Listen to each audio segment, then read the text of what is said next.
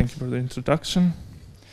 So the motivation behind my work comes from uh, the aim of improving conventional system for deep hyperthermia, and it has some common points with uh, the present two presentations before me.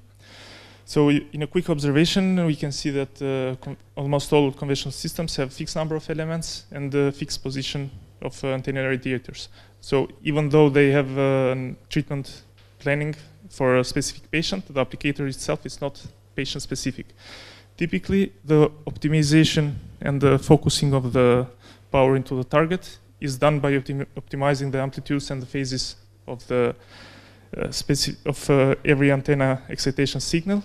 And uh, at the end, some elements may result with a low power or even negligible one. So we can say that uh, the array is not optimal for a specific patient case because not all of the elements are contributing every time. However, if we move into a modular array system, we have an additional degree of freedom. We, can, we have flexible number of elements and uh, flexible positioning of elements for every patient. So we can adapt it for a patient to, to be patient specific. We expect in, uh, an improvement in the number of elements. So uh, for a modular array, we can select only the elements which have a high contribution and eliminate the ones with expected low contribution in hitting the target. Also, a more flexible positioning uh, would make us expect to have an improved focusing in the target while reducing the heating in the healthy tissue. And uh, in overall, we want, we aim towards a system which improves the treatment outcome. So how do we do it? The procedure is as follows. Uh, we want to decouple the optimization of uh, the amplitudes and the phase and the positioning of the elements because additional degree of freedom means that uh, if we do the optimization all together, we have a more complex optimization. So initially we import the patient-specific segmented model into an EM simulation tool. After delineating the target tumor, we place a short dipole uh, RF source into the target. Then we perform an EM simulation. Finally, we evaluate the tangential component of the electromagnetic field in the skin and at the end, we obtain uh, an intensity distribution of E-field component along the head-to-foot direction uh, in the skin, such as the one illustrated here. The higher intensity in the skin means that uh, the lower attenuation towards from target to the skin. We can say that the inverse is true as well, and placing elements in the high intensity area, as shown here, would result in a higher contribution in hitting the target. So if we repeat this procedure for different frequencies, we found out that uh, different number of elements can be placed in an optimal region. And uh, the, the, the, area itself changes for different frequencies. So this can be adapted for a certain patient or a certain target. And uh, heavy modular array has an advantage, additional advantage such that uh, we can avoid placing uh, elements in front of heat sensitive tissues such as the spine. Uh, we want to do a comparison between a full array and the optimized array. So we selected a bladder tumor in a, an anatomical model of Duke. So in the first case, shown in the first picture, we have a full row with 10 bow tie antennas with individual water boluses. And in the second one, we identify the area with uh, optimal, for optimal placement, and the, total number of elements is reduced to six. We use a frequency of 200 megahertz, for our simulation. And uh, for the EM results, we normalize it to 1 watt total input power for the full applicator. So in the first view, uh, we observe that uh, there is, so we have the target here, and uh, we observe that there is a higher power deposition in the sides for the full row applicator compared to the uh, optimized one, whereas the total SAR di uh, distribution in the target is not very different. However, if we want to look closer, we take an SAR profile across different cuts in the tumor. And uh, we observe that for the optimized applicator, we have a higher SAR in the target for the same total input power. So it's better focusing. Another important point is that we observe that the optimal optimized applicator actually is hitting more in the skin which is an undesired condition, but uh, as we know, the cooling of the water bolus can help to mitigate this uh, problem. So next step was to perform a thermal simulation, uh, one hour long thermal simulation for both cases. The power we applied to different applicators was different and we normalized it such that we have the same uh, SAR at the center of the tumor. So for the uniform applicator, it ends up to have 87 watt uh, total power compared to the 74 watt for the optimized one. For the temperature simulations, we used the temperature-dependent perfusion model for fat, muscle, and tumor tissue. Uh, if you want uh, to have more insight in the temperature distribution, cumulative temperature histograms are useful. So the line in the right represents the, the temperature histogram for the tumor tissue, and the, the one in the, le the left is uh, related to the healthy tissue. So a good treatment would mean that the tumor tissue is as deep as possible and uh, as high a temperature as possible towards closer to the 44, 44 to 45 degrees.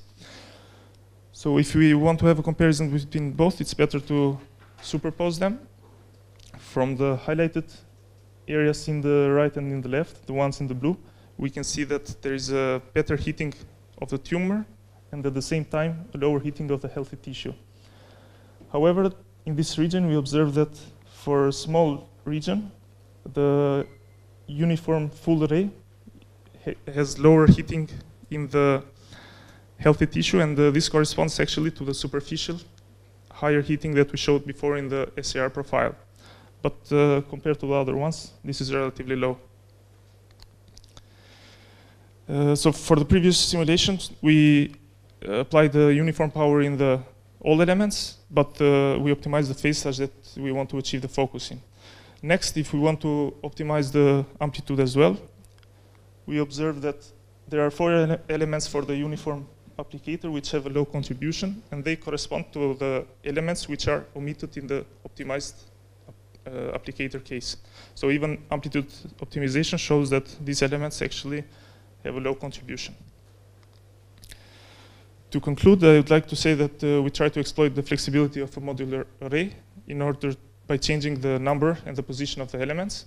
And uh, the inverse source method was, uh, is a, uh, a, good way to decouple the optimization and uh, to, to adapt the array to be patient-specific and target tumor-specific in a shorter amount of, of time and in an easier way. The end result would be to achieve a better focus, to reduce the heating in healthy tissue, and uh, since we have fewer elements, inherently the treatment planning becomes less complex. Uh, it's important to mention as well that uh, if we want to apply this in a clinical condition, uh, relatively practical uh, positioning system should be implemented for the user. Also, when we determine the, the, the best area to fit the elements, we don't consider the water bolus impact uh, because uh, at that point you don't really know which, what kind of shape of applicator are you going to apply.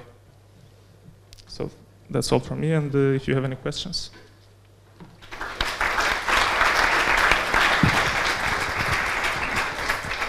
Thank you very much for a nice talk. Are there any questions from the audience? Thank you. Very, very nice talk. I have two small curiosity. The first one is that you're only considering the tangential component on the skin. Yes. So what is your idea uh, since the polarization is happening? So could we exploit or could we have better results if we consider, uh, let's say, a not a, a Z polarization of the field, another one, or uh, this is already like a good approximation of the optimal? So for my simulations, I've considered bow tie antennas or slot antennas, and uh, the, the highest component is the, the one which is tangential to the, to the skin. So if you change the design of the antenna or if you want to combine a different component, uh, then you should consider maybe the other direction. But in general, since the body has a cylindrical coordinate symmetry, we can say, then uh, you can coherently combine the one component, which is along the head-to-foot direction for maximum uh, uh, power deposition. So that one is the most uh, significant one That's why I'm optimizing only that. So, so you, you look at the other two, and the Z Yes, one yes. was the, the, the Yeah. okay. So thank you. And the second one is, uh, is it possible that there is uh, one direction or one position of one antenna uh, where you actually don't get uh, a high uh, dominant, co- a high uh, component, like high value of the intensity on the skin because of losses, t- since this is uh, this reminds me of a time reversal, but this position actually uh, by using more power, you can use like uh, field interplay to reduce hotspot or so on. Like, uh, what is your uh, experience in that? So for the time reversal, actually, it's the same method, but you make use of the phase. So we are looking at the attenuation here, and uh, we try to find the lowest path from the tumor to the skin. So uh, when you do this, at least you know that this attenuation information is uh, expected to be correct if we change them. I don't know if, if it was clear. Okay. Okay. Thanks.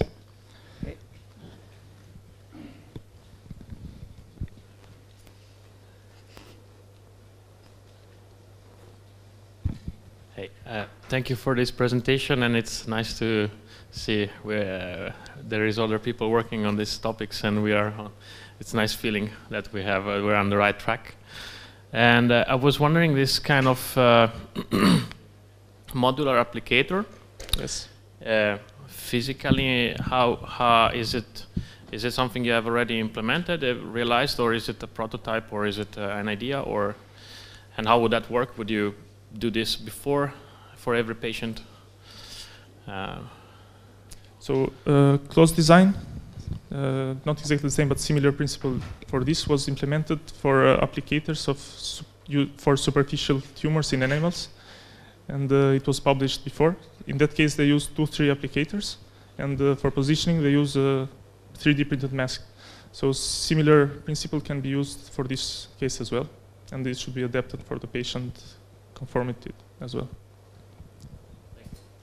Okay. Are there any, any more questions? Yeah. Okay.